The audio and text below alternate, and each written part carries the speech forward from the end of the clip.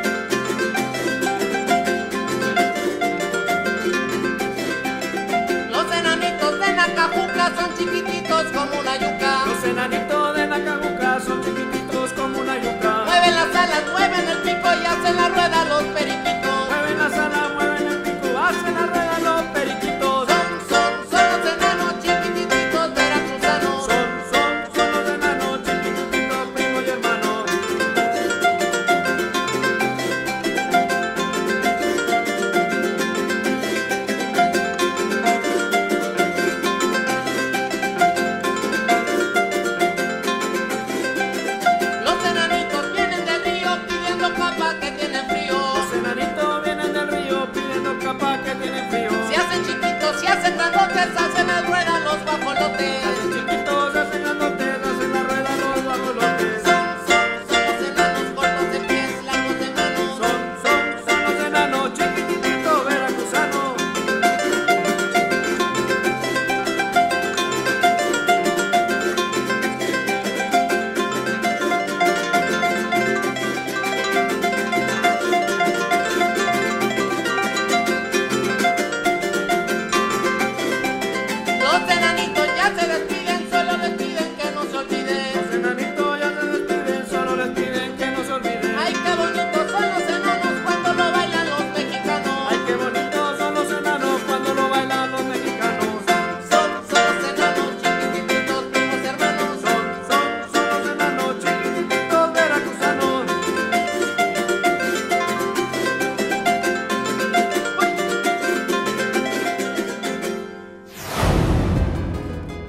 Hacia inicios del siglo XIX, los grupos de afromexicanos y mulatos consolidaron sus posiciones laborales en territorio novohispano, gracias en parte a los discursos que los reivindicaban y a toda una serie de políticas tomadas por los insurgentes en su lucha por la independencia, entre ellas los bandos para abolir la esclavitud.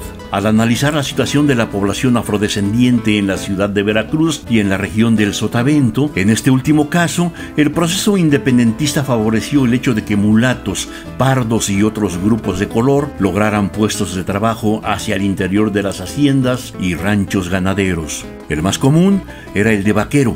No obstante, por sus habilidades, muchos afrodescendientes llegaron a ocupar el puesto de caporal, dirigiendo cuadrillas de vaqueros de entre 15 y 20 personas.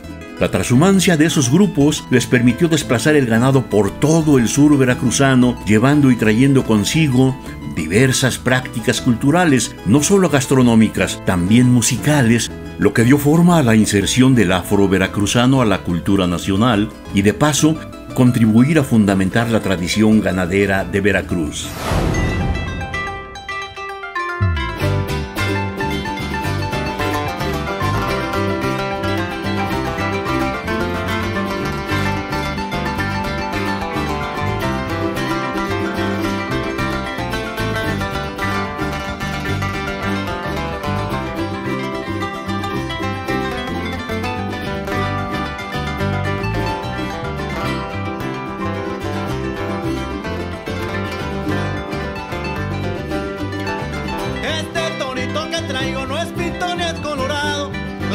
Colorado, este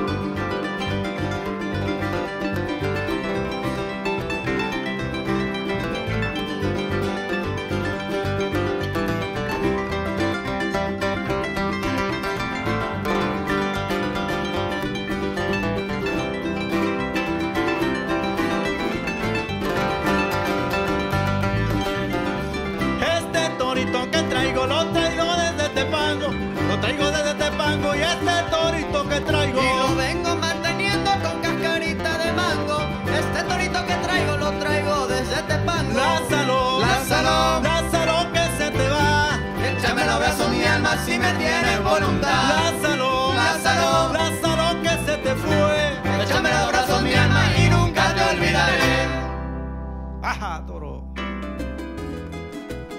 Hemos ofrecido a ustedes el torito, son jarocho cuya letra apunta hacia la tradición ganadera propia de la zona costera de Veracruz. La interpretación ha sido del grupo Galambao.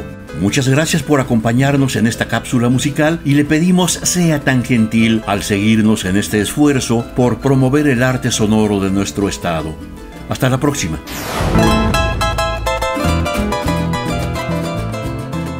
La Secretaría de Educación de Veracruz y la Subsecretaría de Desarrollo Educativo, a través de la Dirección de Actividades Artísticas, presentaron el podcast Artes sin Fronteras. De Veracruz, mis raíces, mis raíces.